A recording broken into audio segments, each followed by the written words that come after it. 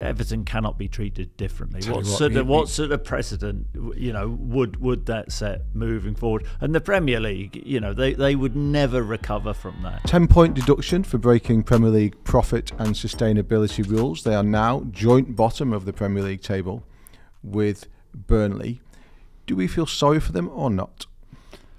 Um, I think there are plenty of people out there who uh, don't feel sorry for Everton because they, you know, have essentially broken the rules. But there are a lot of people who have, uh, you know, sympathy for uh, for Everton because you know it's not it's not the fans who have broken the rules. It's not the it's not the players who have uh, broken the rules. It's you know the the hierarchy where uh, where the club has been mismanaged and. And you, you know, but it, you know, as I say, because it isn't the fans and the players, then I think there is an element of sympathy. Everton's a great football club, great history, great heritage, and um, you know they're they're in the mire now.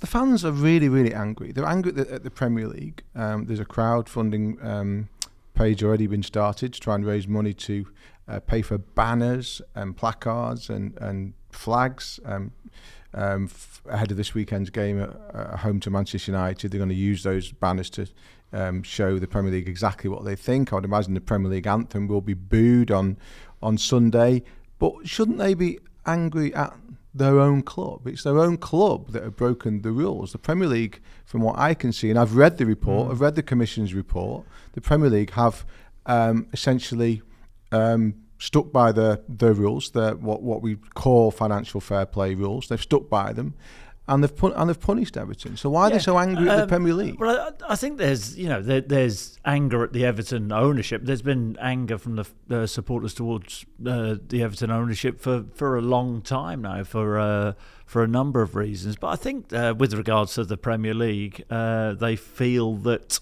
uh, they are a club which has been singled out, and that.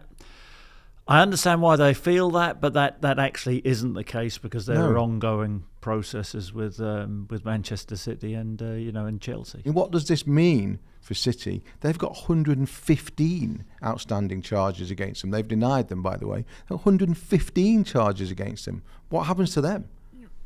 And uh, well, unt- until we sort of um, you know get to the end of of the, of the investigation and find out what those you know char- well not find out what the charges were for, but City are you know going to. Uh, defend those charges. So it is it is a wait and see. On the face of things i think that's what Everton supporters ha- have looked at. You know well you know we've had we've had this charge. Manchester city have got 115 well you know they must be bang in trouble. The same with you know with chelsea uh, by all accounts so that's where the anger and the ire comes from the uh, the everton support and i can un- understand that but let's just wait and see what what happens to manchester city I think somebody has done the mathematics. Somebody has tried to extrapolate it, and if you apply the same logic to uh, to Everton being deducted ten points for their for their charge, and I think um, by the same rationale, City would probably lose fifteen hundred points, which I think probably takes them all the way down into the Isthmian League or something like that. And uh, we're laughing because it's a, a rather stupid comparison, but it's a serious it's a serious subject. I think you and I both think that they'll, that actually they'll still they'll still be okay. Um, now there has the, the, ha- um, buried within all of this rhet- rhetoric, or the, at the front of some of this rhetoric over the last weekend, has been that they've made an exa- the Premier League have made an example of Everton because they're in inverted commas smaller club. I don't buy it actually, but there is that school of thought. But it, wrapped up in all of that is this feeling that the Premier League may not wish to take on Manchester City, their own champions. I mean, in the, in their own way. Let's face it, it won't serve the Premier League's purpose as a as a brand, as a spectacle, as a money making entity to relegate its own champions. They don't want to rele- they won't, they won't want to relegate a team that's got Kevin De Bruyne in it and Erling Haaland in it. And, and Jack Grealish but that, Phil but, but, that, but but they can't they can't think like Well, that. That, that that cannot happen. No. I, I I can't believe you're sort of suggesting. Well, people that are that sa- is- well, people are suggesting. Well, say people, social media, or the commentators in print and on, on the radio and television have been suggesting that Everton have had the rug pulled out from within the feet because they're Everton, and that the Premier League won't, if it comes to it, won't have the guts to do it. So, so you're People saying you're you're saying they're going to treat Everton uh, differently to Manchester it's, City? it's, it's, it's, some people are saying that.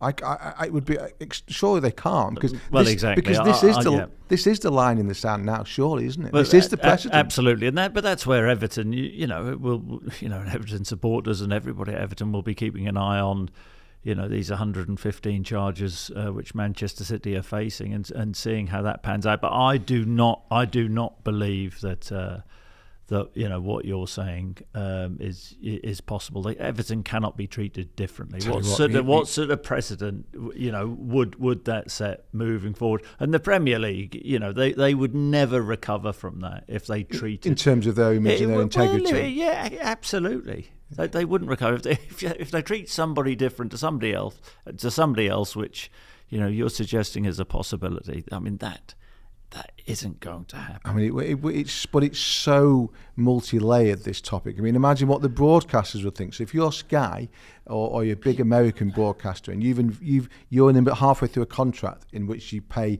billions of pounds to cover the Premier League, and all of a sudden you're told halfway through that the champions are not in it anymore. Happened to, But well, it they'll have a happened, to, view. happened to Rangers in Scotland, They'll have didn't a it? view, won't they? Absolutely.